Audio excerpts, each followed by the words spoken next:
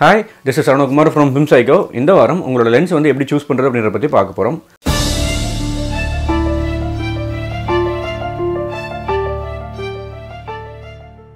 The basics of lenses வீடியோவில் நம்ம பார்த்தோம். Lower the value higher the wide higher the value lower the wide suppose நீங்கள் அந்த video பார்க்கல அப்படின்னா அந்த வீடியோட லிங்க் வந்து டிஸ்கிரிப்ஷனில் இருக்குது கண்டிப்பாக இந்த வீடியோக்கு முன்னாடி அதை பாருங்கள் அதாவது லோயர் ஃபோக்கல் லென்த்தான ஃபோர்டீன் எம்எம் இல்லை twenty four mm lens use பண்ணும்போது மேக்ஸிமம் ஏரியா வந்து பார்த்தீங்கன்னா இமேஜில் கவர் ஆகும். பட் அதுவே ஹையர் வேல்யூவான ஹண்ட்ரட் எம்எம்மோ இல்லை one thirty five mm lens use பண்ணும்போது குறைவான ஸ்பேஸ் தான் வந்து பார்த்தீங்கன்னா அதில் வந்து கவர் ஆகும். பட் இந்த விஷயங்கள் எல்லாமே தேரியா படிக்கிறதுக்கு ரொம்ப ஈஸியாக இருந்தால் கூட ரியல் வேர்ல்டில் ப்ராக்டிஸ் இருந்துச்சு அப்படின்னா நம்ம ஷார்ட் லிஸ்ட் பண்ணும்போது எந்த மாதிரியான ஷார்ட்ஸ்க்கு வந்து எந்த மாதிரியான மீனிங் நம்ம கொடுக்கணும்? அப்போ அதுக்கு எந்த மாதிரியான ஃபோக்கல் லென்த் இல்லை எந்த லென்ஸ் வந்து நம்ம யூஸ் பண்ணணும் அப்படின்னு சொல்லி நம்ம தெரிஞ்சுக்க முடியும். ஸோ அதை பற்றி நீங்கள் தெரிஞ்சுக்கணும் அப்படின்றதுக்கு உண்டான வீடியோ தான் வந்து பார்த்தீங்கன்னா இது. அண்ட் அது போக ஒவ்வொரு லென்ஸும் எப்படி சப்ஜெக்ட் அண்ட் பேக்ரவுண்ட் வந்து கேப்சர் பண்ணுது அப்படின்றத பற்றியும் இந்த வீடியோவில் தெரிஞ்சுக்கலாம். அண்ட் அது போக இந்த வீடியோ வந்து பார்த்தீங்கன்னா பெரிய சயின்டிஃபிக் டெஸ்ட்லாம் கிடையாது. இது ஒரு நார்மல் டெஸ்ட் தான்.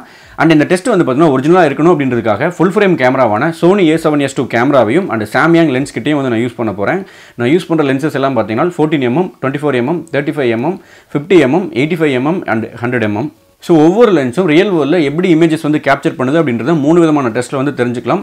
ஸோ ஃபஸ்ட்டு வந்து பார்த்தீங்கன்னா டெஸ்ட் நம்பர் ஒன் ஃபஸ்ட் டெஸ்ட்டில் லென்ஸோட ஒரிஜினாலிட்டி பற்றி தெரிஞ்சுக்கலாம். அதாவது ஒவ்வொரு லென்ஸ் நம்ம யூஸ் பண்ணும்போதும் எந்த மாதிரியான இமேஜ் வந்து கேப்சர் பண்ணும் அப்படின்ற பற்றி தெரிஞ்சுக்கலாம். ஸோ ஒரிஜினாலிட்டி செக் பண்ணோம் அப்படின்னா பொசிஷன் வந்து சேஞ்ச் ஆகிடக்கூடாது ஸோ அதனால தான் வந்து பார்த்தீங்கன்னா இந்த டெஸ்ட் முடிகிற வரைக்குமே ஆக்டரோட பொசிஷனும் அதே மாதிரி கேமராட பொசிஷனும் வந்து சேஞ்ச் ஆகலை. ஸோ இந்த டெஸ்ட்டில் வந்து ஒவ்வொரு இமேஜ் வந்து எப்படி இருக்குது அப்படின்றத பற்றி நம்ம இப்போ பார்க்கலாம்.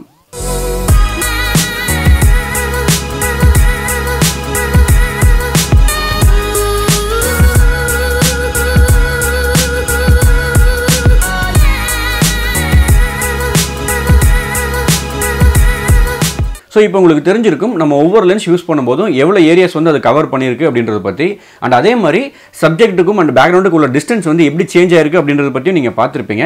ஸோ இதே விஷயத்த இன்னொரு டெஸ்ட் மூலிமா வந்து பார்க்கலாம். டெஸ்ட் ஒன்றில் மாதிரியே டெஸ்ட் டூலையும் வந்து பார்த்தீங்கன்னா கேமரோட பொசிஷனோ அப்படி இல்லைனா ஆக்டரோட பொசிஷனோ வந்து சேஞ்ச் பண்ணவே இல்லை. ஸோ பேக்ரவுண்டில் இருக்கிற இந்த ஆப்ஜெக்ட் வந்து நம்ம செலக்ட் பண்ணிவிட்டு நம்ம லென்ஸை சேஞ்ச் பண்ணும்போது அதனோட டிஸ்டன்ஸ் வந்து எப்படி சேஞ்ச் ஆகுது அப்படின்றத வந்து நம்ம இப்போ பார்க்கலாம்.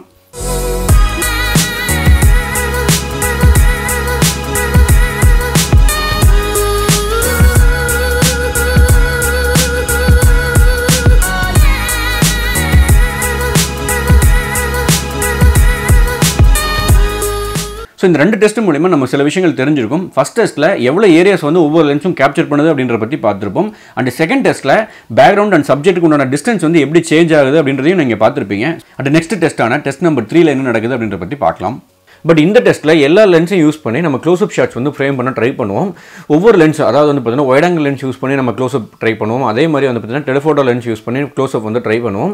பட் ஒவ்வொரு லென்ஸ் நம்ம யூஸ் பண்ணும்போது க்ளோஸ்அப் ஷாட்ஸ் வந்து என்ன மாதிரி வருது அப்படின்றது வந்து நம்ம தெரிஞ்சுக்கலாம். பிகாஸ் ஃபிலிம் மேக்கிங்கில் க்ளோஸ்அப் அப்படின்ற வந்து பார்த்தீங்கன்னா ரொம்ப முக்கியமான விஷயம். ஸோ ஒவ்வொரு லென்ஸ் யூஸ் பண்ணும்போது நம்ம க்ளோஸ்அப் வந்து எப்படி கிடைக்கிது அப்படின்ற பற்றி இப்போ பார்க்கலாம்.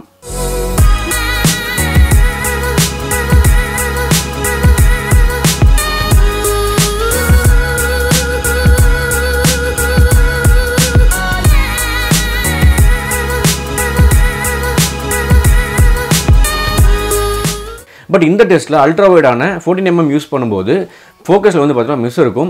நீங்கள் எந்த லென்ஸ் யூஸ் பண்ணும்போது மினிமம் ஃபோக்கஸ் டிஸ்டன்ஸ் அப்படின்னு சொல்லி ஒரு டிஸ்டன்ஸ் வந்து தேவைப்படும். ஸோ அந்த டிஸ்டன்ஸ் வந்து பார்த்தீங்கன்னா அந்த ஷாட்டில் வந்து இல்லை. பிகாஸ் அது வந்து பார்த்தீங்கன்னா அல்ட்ரா வைட் நம்ம வந்து க்ளோஸ் அப் ஷாட் வந்து ஃப்ரேம் பண்ண ட்ரை பண்ணியிருக்கோம் ஸோ அதனால தான் வந்து பார்த்தீங்கன்னா அது ஃபோக்கஸ் வந்து இல்லை. ஸோ இந்த டெஸ்ட்லேருந்து உங்களுக்கு தெரிஞ்சிருக்கும் க்ளோஸ் அப் ஷாட்ஸ் யூஸ் பண்ணும்போது அல்ட்ரா வைடான ஃபோர்டின் எம்எம் யூஸ் பண்ணும்போது அதோட ஃபேஸோட ஸ்ட்ரக்சரே வந்து பார்த்தீங்கன்னா மாறி இருக்கும் ஸோ அது காரணம் வந்து பார்த்தீங்கன்னா லென்ஸோட டிஸ்டர்ஷன் தான். அண்ட் அதே மாதிரி நீங்கள் eighty five mm lens use பண்ணும்போது அப்படின்னா ஹண்ட்ரட் எம்எம் யூஸ் பண்ணும்போது உங்களோட பேக்ரவுண்ட் வந்து பார்த்தீங்கன்னா சப்ஜெக்ட்டுக்கு எவ்வளோ க்ளோஸாக வருது அப்படின்றதையும் நீங்கள் வாட்ச் பண்ணியிருப்பீங்க ஸோ இதுலேருந்து உங்களுக்கு தெரிஞ்சிருக்கும் ஒரு க்ளோஸ் அப் ஷாட்ஸ்க்கு வந்து என்ன மாதிரி லென்ஸ் வந்து நீங்கள் யூஸ் பண்ணணும் அப்படின்றது. அண்ட் நான் ஆல்ரெடி சொன்ன மாதிரியே இந்த டெஸ்ட் வந்து பார்த்தீங்கன்னா பெரிய சயின்டிஃபிக் டெஸ்ட்லாம் கிடையாது. பட் இருந்தாலும் ஒரு ஃபிலிம் மேக்கராக அந்த சீனுக்கு என்ன மாதிரியான ஷார்ட்ஸ் தேவைப்படுது ஸ்கிரிப்ட்டில் வந்து என்ன டிமாண்ட்ஸ் இருக்குது அண்ட் அதே மாதிரி அதுக்கு என்ன மாதிரியான லென்ஸ் சாய்ஸ் வந்து நம்ம பண்ணணும் அப்படின்றது தெரிஞ்சுக்கணும் அப்படின்றதுக்காக தான் வந்து பார்த்தீங்கன்னா இந்த டெஸ்ட்டு சப்போஸ் உங்கள் படத்தில் எப்பிக்கான ஒயிட் ஷாட் நீங்கள் வைக்கணும் அப்படின்னு நினச்சால் அதாவது ஒரு மவுண்டன்ஸ் வந்து நீங்கள் கவர் பண்ணணும் பண்ணணும்னு நினச்சாலோ இல்லை சிட்டியை வந்து கவர் பண்ணணும்னு நினச்சாலோ இல்லை பெரிய பில்டிங்கை வந்து கவர் பண்ணணும்னு நினச்சாலோ நீங்கள் வந்து அல்ட்ரா வைட் லென்ஸான ஃபோர்ட்டின் எம்எம் அது மாதிரி வந்து நீங்கள் யூஸ் பண்ணலாம்.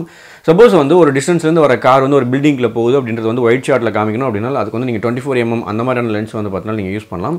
அண்ட் அது போக சினிமா அப்படின்னாலே வந்து க்ளோஸ் அப் அண்ட் மிட் தான். ஸோ இந்த மாதிரியான கான்வர்சேஷன் சீனுக்கு வந்து பார்த்தீங்கன்னா நீங்கள் தேர்ட்டி ஃபைவ் ஃபிஃப்டி இல்லை எயிட்டி ஃபைவ் வரைக்கும் நீங்கள் யூஸ் பண்ணலாம்.